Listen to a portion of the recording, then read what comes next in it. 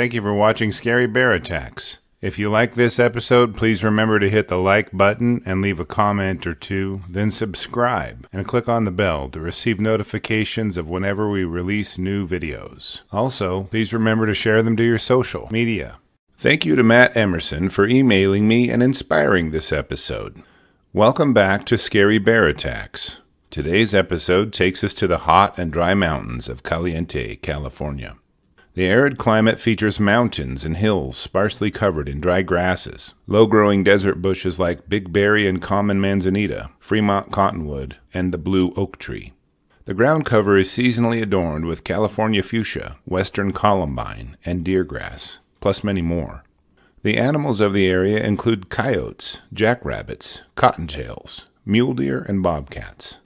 The more dangerous inhabitants of this area include black bears, on the higher slopes of the desert mountains, forests of various kinds of oak, willow, mesquite, and sycamore dominate the skyline and provide shade for all passers-by.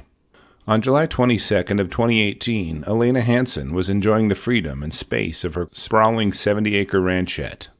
She enjoyed working with the horses, but still had a lot of work to put in just for maintenance. She always had chores to do to maintain the property, but the 56-year-old single mother embraced the hard work required. On this day, she was focused on fixing a water line for a new vineyard she was planning on constructing in the near future. The spring fed into a concrete box with a floodgate, and the spring had started to decrease in its flow. To Allena, that meant she would have to dig out any obstructions to keep the water flowing in order to execute her plan.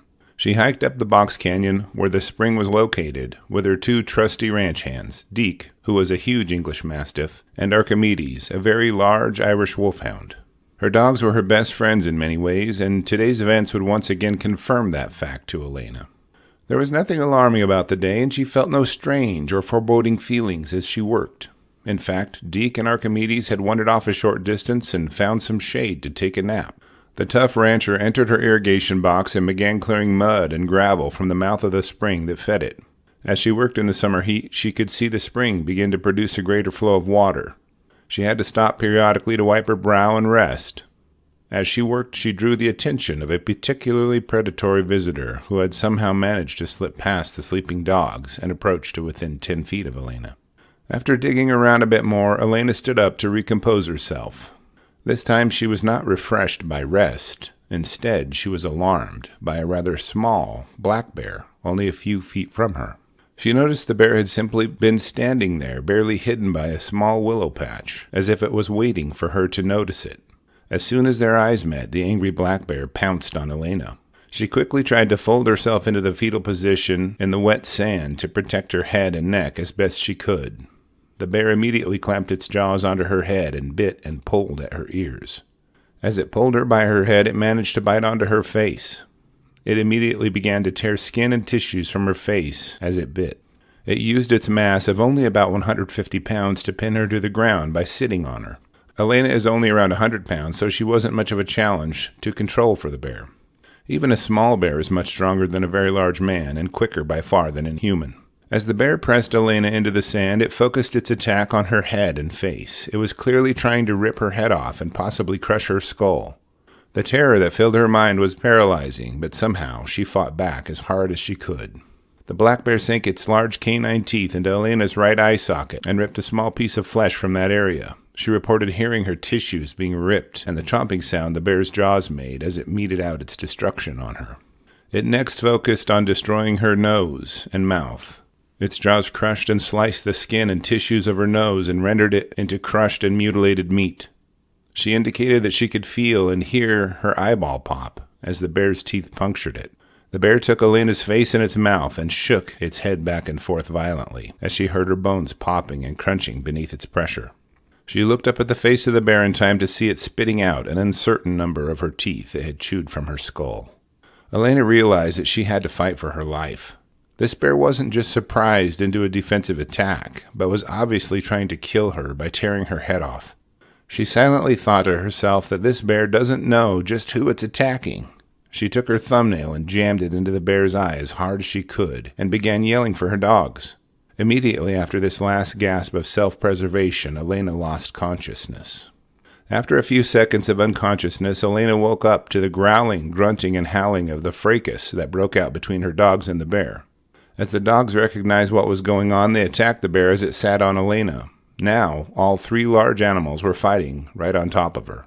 She could see a blurry series of teeth snapping and fur flying as the three animals bloodied each other.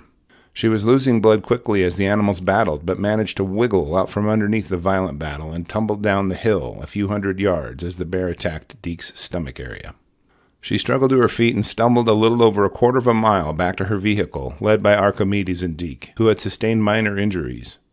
As she situated herself in the driver's seat, she was shocked by her appearance in the rearview mirror, but was pleased to note that her white baseball cap was still on her head.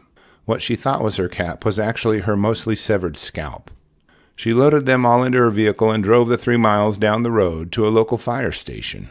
The firemen were surprised and amazed to see a woman with her face in tatters drive herself up and start asking for help. Captain Kurt Merrill recalls asking her her name. She responded, Allena Hansen. He knew her well, but he couldn't recognize her through the destruction to her face. They immediately tended to her wounds as best they could while waiting for the Lifelight helicopter, which would take her to the UCLA Medical Center for treatment.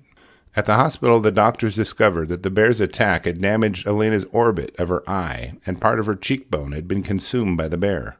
The bear also completely crushed her nasal bridge and even chewed off her ears, lips, and a segment of her left cheekbone. The damage to her dental arcade was tremendous as well, as the bear had broken her jaw, ripped out 14 of her teeth, torn up her gums, and broken the upper palate of her mouth. Medical professionals somehow put her face back together, with over 1,000 stitches, during a 10 hour initial operation, describing her injuries as the worst they'd ever seen. She had to endure several plastic surgeries to make the reconstructed parts of her face look as normal as possible. Only a few years after the attack and subsequent surgeries, she says nobody in public ever seems to notice her scars unless she points them out. She's quoted as saying, You'd be amazed what you can do if you have to, but you have to do something. The key to surviving is it doesn't matter what you do, just start the ball rolling. Do something, and then improvise as you go along. You never know where it's going to end up, but it's better than lying there and letting something eat your head off. Archimedes and Deke survived with minor injuries and still enjoy protecting her, even while they nap. The firemen at the fire station admired her toughness as they pointed out that she not only drove herself there, but had the wherewithal to give them her personal information. Allena's son, Alec Newman, said that it would take a lot more than some punk bear to get rid of his mother. A further comment of Allena's is quoted as These scars are hard earned trophies for what I've been through. They're actually something I could be grateful for. I'm proud of them. I can go talk to little girls and say, I'm still beautiful, even with these. Regarding her sentiments toward the bear, Allena is quoted as saying, They've got as much right to be here as I do, but until they start paying property tax, I'm going to assert my dominance. As for the bear, there is no source of what happened to the bear. To my knowledge, it has not been killed, and no one's pursuing it for such aims. On a more somber note, Allena's insurance company refused to cover all but 20% of her medical bills. Her expenses are calculated at around $300,000. She maintains she was first mauled by a bear, then mauled by Blue Cross. The podcast recounting the entire event is pinned in the comment below this video and gives you a great perspective on how admirable and hilarious Allena is. There is also a link to her book recounting her attack titled Chomp Chomp Chomp in the sources. Since YouTube guidelines prohibit the posting of pictures as gruesome as Allena's, I've posted them on my Patreon, and the link is below, so click on it and take a look. After reviewing the details of Allena's attack, I'm left with a few questions. First, do you think her bear attack was a predatory attack or a territorial attack? If bears see us as a food source, then that's a very frightening reality. If they see us as competition, then they may continue to see us as an existential threat. Next, do you think she would have survived if her dogs had not come to her rescue? Also, do you think that the bear attacked her because she was occupying one of the few water resources in the area? Finally, would you agree that she is one of the most beautiful and witty bear attack victims we've ever covered on this channel? Please post your comments in the comment section below and let's talk about it. Thank you for watching Scary Bear Attacks. If you've enjoyed this episode, please consider clicking on the like button and clicking on the bell icon. We'll help you know when we post our new episodes. Posting our video links to your social media profiles furthers awareness and is fun. We slashed our prices in our merch store, linked below, so check out the bargains there while you shop for Christmas presents. As a member of our human community, remember to adventure bravely and be careful out there, especially in bear country. Thank you to our patrons Melissa Gottlieb, Patrick McHose, Megan Trend, Nathan P., Dina White, Cole Rodriguez, Aurora, April Donovan, Ryan Cernicki, Chris Marlar, Wayne Washington, Fluffy Feet, Cheyenne, April Donovan again, and Drone Adventures. Your support means the world to me.